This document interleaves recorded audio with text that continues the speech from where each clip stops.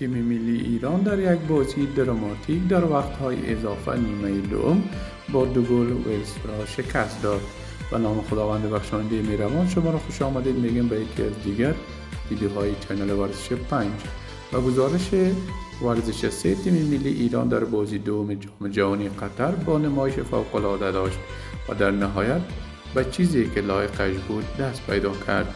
ایران در نیمه اول تهاجمی کار کرد و موقعیت خوبی را به دست آورد اما گل علی قلیزاده آفساید اعلان شد. در ادامه نیمه هم دو تیم موقعیت های نصف و نیمه داشتند اما در نهایت بازی با نتیجه بدون گل در نیمه نخست به پایان رسید.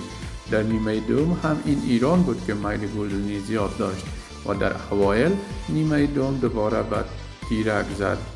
آن با ترمی در دقیقه 84 به موقعیت تک به تک دست یافت که خطای هنسی گولر ویلز روی او سبب ده نفر شدن ویلزی ها شد. فشار ایران پس از اخراج گولر ویلز حفظ شد و در اواخر وقتهای اضافه دوباره دروازه این تیم توسط شاگردان کیروش فرو ریخته شد ابتدا چشمی و سپس رامین رضاییان تیر خلاص را به همبازی های گریت بیل زدند. دوباره امید سعود را به مرحله بعدی زنده کردند. دی با ویلز و انگلیس زمین آسمان فرق داشت.